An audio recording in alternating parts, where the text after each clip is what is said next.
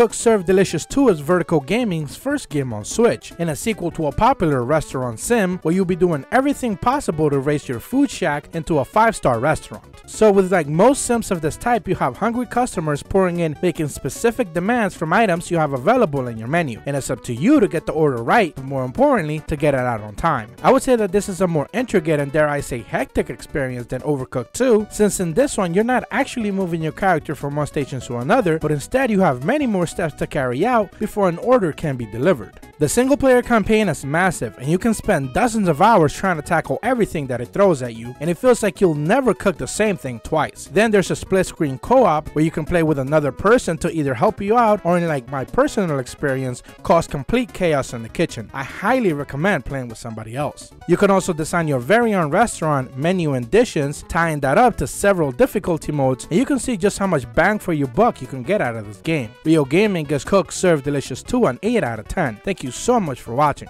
See ya.